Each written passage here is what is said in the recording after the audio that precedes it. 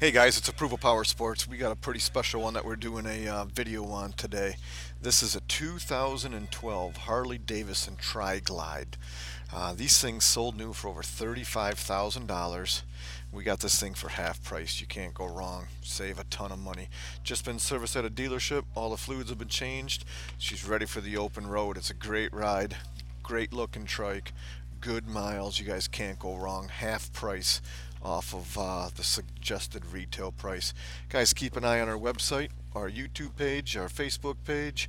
We got uh, new bikes coming in all the time, and it's riding season. Call today and you can ride today.